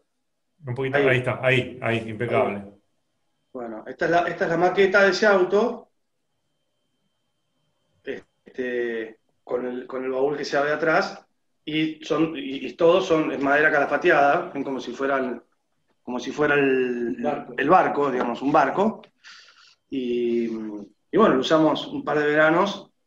En, fuimos a, también encuentros acá o rallies, pero también lo usamos en el verano. bueno, la idea era que los, después los, los chicos en el futuro lo usen para ir a la playa y tener un auto para disfrutar en el verano que, y, digamos, que no te preocupes por el hecho de la arena o lo que fuera, porque como es madera, se la aguanta. Entonces, una barnizada y listo. Pero se llama Son of a Beach, que tiene varias interpretaciones, ¿no? O sea, que más o menos es, puede ser el sol de la playa, puede ser el hijo de la playa, puede ser el hijo de Beach, también, de, las señoras que sueltas de, ropa. Este, o sea, puede ser la interpretación que uno quiera. Es el son of a Beach. Cada uno lo decide como quiera. Una señora con el sí fácil. claro, el hijo de una señora con el sí fácil, exactamente. Bueno, este es otro auto espectacular, ¿no? Este es el Marmon, que terminamos el año pasado, que lo llevamos a Autoclásica. Ahí está en Autoclásica. Sí. Al lado de, una Ferrari Divina. Este, mm, lo, terminamos, como siempre, o sea, Autoclásica es un, es un disparador para, para, empujarte a terminar algún proyecto que tenés en camino. Y bueno, como siempre lo terminamos prácticamente, o sea, si lo tocaba estaba la pintura fresca. este, y encima teníamos el, asunto que todo ese fin de semana llovió a cántaros. Así que bueno. Eh, pero bueno, no, no, no, pudimos disfrutar mucho porque después de Autoclásica lo usamos muy poquito, después ya vino, esto fue la última autoclásica, después ya vino el asunto de la pandemia y después no tuvimos más este, salidas, así que es un auto todavía por disfrutar. Pero sí, tiene un 8 cilindros en línea muy lindo y anda muy, como tiene una distancia entre ejes muy grande, anda, anda muy, muy, muy lindo, muy cómodo. Acá pasamos al Hotchkiss. Hotchkiss, sí, Hotchkiss. Bueno. Acá no tenemos fotos del auto terminado, tenemos en proceso, pero creo que está bueno que nos cuenten igual, ¿no? Bueno, vos sabés que esto salió de, un, este, que es muy bueno el cuento porque eh, me, prestaron una revista donde salía este auto, y yo la llevé a hacer copias en Punta del Este, y la devolví, resulta que cuando en las copias faltaba la mitad del auto, pues abrieron el libro o la revista, y la, parte de la mitad no salió, entonces la tuve que inventar yo para variar, ¿viste? Bueno, y bueno, es todo original, tiene la... Todo sobre un chasis original, ejes, motor, caja, todo original. Nosotros, o sea, él se inspiró parte de lo que se veía en la mitad de la, revista y la otra mitad la completamos. Pero bueno, es un, un dibujo típico francés este, a pesar, o sea, Hotchkiss en realidad era americano, pero sí, se, radicó en, Francia y bueno, casualmente ganó el Rally de Monte Carlo con la mecánica era una, mecánica muy robusta como el de la E, como el de la Ash. Seis cilindros, siete bancadas y, bueno, ganó el Rally de Monte Carlo muchas veces y, y, este, y el tipo en realidad fabricaba armamento así como Poisson hacía aviones, este tipo hacía ametralladoras y, tanques y rifles. y después, y después el, escudo, el escudo son dos cañones cruzados. Claro, y después se dedicó al tema de los autos, con mucho éxito. Vos sabés que la, la particularidad que de Estados Unidos, las cosas que él decía que, que servían y que sé yo, no le llevaban el apunte, entonces se fue a Francia y eh, Napoleón III lo contrató para que le, hiciera armamento. Bueno, y terminó vendiéndole sus cañones, muchacho, en la guerra de secesión norteamericana le vendió cañones a los del norte y a los del sur, ya que estaba, ¿viste? Para, para no ser parcial. la guerra es la guerra, papá. ¿Pasaste a otra foto recién? Sí, ah, sí. Bueno, este es el Panar, ¿no? Este es el Panar de Basó, sí, que, con el que eh, fuimos al Recoleta Tigre varias veces. Ahí lo tenemos en el empedrado. Sí. Muy linda foto y el auto es espectacular. Sí, muy lindo, anda muy bien también. Obviamente no hay que pretender, no, es, un auto de 1913, ¿no? No hay que, no hay que pretender este, tener vértigo, sino... El vértigo lo tenés porque vas arriba, digamos, tiene solamente frenos atrás, eh, pero tiene muy lindo andar y es muy, blandito, es agradable. Y, y, lo que tiene, digamos, de, agradable es que esos son esos motores que sentís cada explosión, es paz, paz, paz, paz, paz. Es como si fuera vapor, no es un motor que va en vueltas. Entonces, este, en dos minutos te sentís como que estás en 1913. O sea, te subís al auto y en dos minutos te hace sentir, digamos, que te trasladaste a esa época. Y bueno, todo lo que comentaba yo de, lo que, de las experiencias de haber hecho el curso de manejo y demás, bueno, más todas las cosas que va a pasar sobre el asunto de diseño que siempre aplicamos, este, te lleva a que, a que le vayas este, buscando la manera de que sea un manejo cómodo. Y bueno, ese auto también tiene un manejo muy agradable, muy cómodo. Acá como me dicen este, por, por, cucaracha que vamos a hacer 15 minutos más, voy a, voy a si pido permiso para, para este, saltear algunos autos para ir un poco al final, que es una parte muy emblemática de ustedes, Cato, Cato y Rodolfo. Este, este, así que paso a, compartir. Para mí es un súper tema relacionado al CAS, que van a ser básicamente los 11 y los C, ¿no? Creo que hay mucho para hablar, creo que no podemos terminar la charla sin hablar de esto, ¿no? Entiendo que este es el primero, ¿no? No, el primero fue, no, pero el cuento fue así.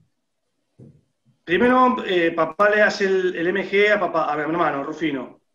Después, hace el Benjamin y con el Benjamin en todos los gincanas y en todas esas carreras de, campo y demás, porque no, había muchas carreras de velocidad, eh, digamos, había prueba de habilidad conductiva en autódromos, pero no había velocidad pura con los autos hasta ese momento. Con el Benjamin me iba muy bien y realmente era imbatible ese auto en, la tierra y en el asfalto, si no era muy largo, este, hacía carrera a cualquier auto.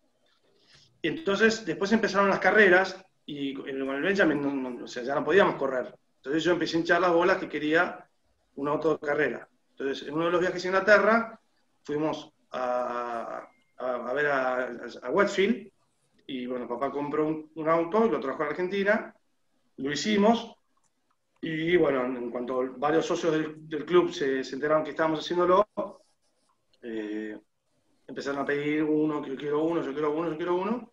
Y sí se hicieron, no sé, llegamos a ver 20, no sé, en el transcurso del tiempo. Y, y bueno, y ahí este, digamos, después yo empecé a correr con el Lotus y, y ahí sí, bueno, fue todo un proceso de aprendizaje que hay, hay una frase muy divertida que siempre digo yo, que es que, pero ¿cómo sabés vos de carburadores? ¿O cómo sabés vos de, cajas? ¿O cómo sabés vos de...? Muy fácil, estudié seis años abogacía. Este, ¿Por qué? Porque yo, o sea, papá, ¿qué hizo? Papá me regaló el auto, uno a mi hermano y uno a mí, y después dijo, listo, ya está, acá está el regalo y ya está, o sea, no, no hay más. Entonces, yo tenía que pastorear por todos los talleres para inventar cómo hacer para que frene, inventar cómo hacer para que doble mejor, conseguir amortiguadores, eh, ponerle rótulas, este, bueno, así yo apliqué, digamos, el, método de, aprendizaje de la facultad de Derecho, eh, que, este, lo apliqué lo mismo al automovilismo, entonces me compré todos los libros de suspensiones, de aerodinámica, de freno, de motorización, y bueno, y así fui aplicando los conceptos, y bueno, y el auto realmente era, cuando al principio me costaba mucho porque calentaba. Y siempre hay algún comentario a veces, digamos, un tanto no muy agradable que te llamaban, che, ¿trajiste el calefón? Por ejemplo.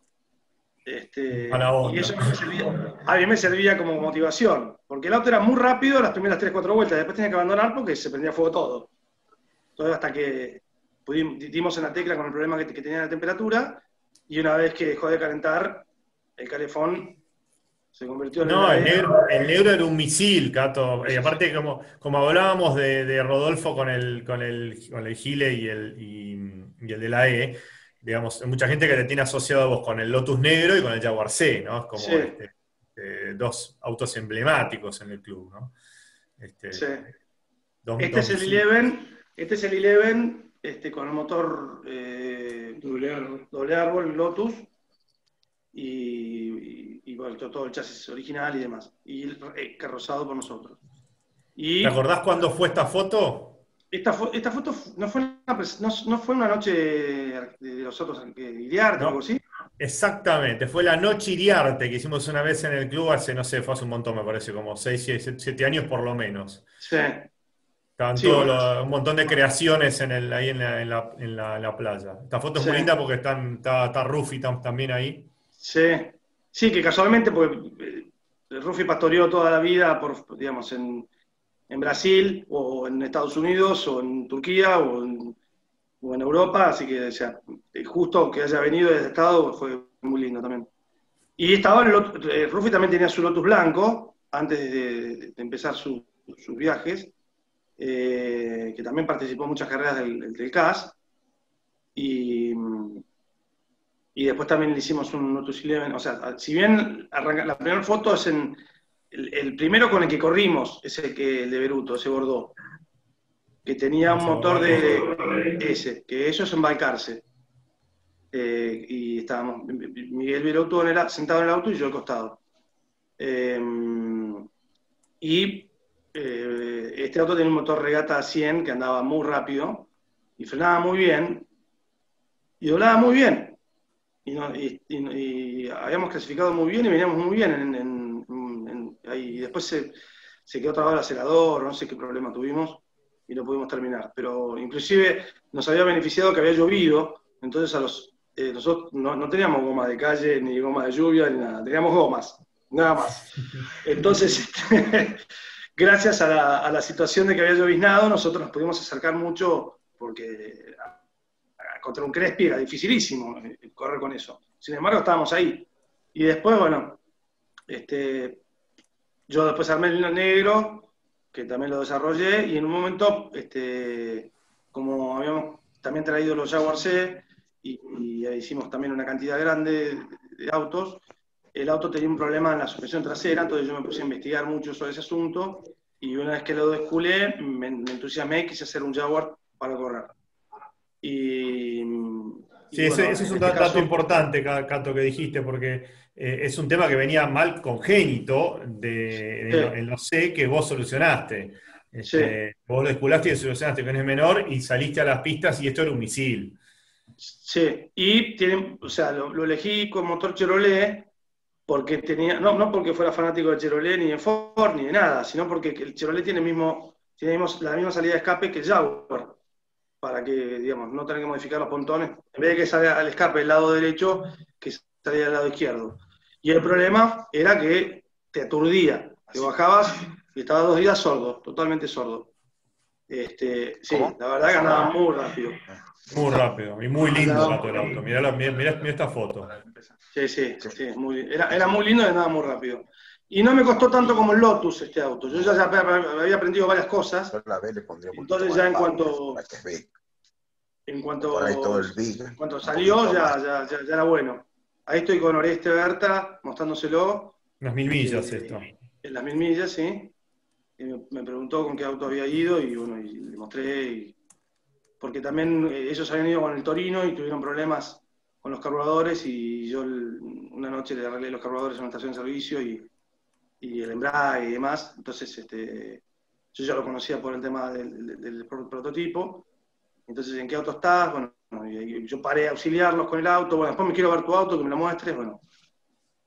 Y acá este es el la versión de calle, ¿no? O sea, para, ambos autos, tanto el, tanto el Lotus como el Jaguar, está la versión de calle y después está la versión de pista o de carreras, que, bueno, tanto con el Lotus como con el Jaguar gané los campeonatos en el club. Y y después el, Lotus Negro se lo presté a, Fernando Villani, también se ganó el campeonato con Fernando Villani. O sea, era un auto que era, era rápido y sí, sí. Una fija total. El negro siempre fue una fija, espectacular. Sí. Y este es el Jaguar C de aluminio, que todavía no lo, conservamos. No sé dónde es, esa foto no la conocía. Me suenan unas, unas 300 también, pero porque están con casco, ¿viste? Me, me olfateó unas 300 Puede ser, puede ser. reciclado, ¿viste? Típico de las 300, ¿no? Sí, puede ser, puede ser. También muy lindo auto. Muy lindo auto. Sí, sí, espectacular. Yo he tenido la suerte de manejar un par del tuyo y el de Cristian, eh, versión de calle, este, y y la verdad que son tremendamente bien hechos, andan perfecto y este, la verdad que es, loable. Y obviamente el de carrera éramos eh, eh, grandes rivales, lo que nos hemos divertido, Cato, ¿no?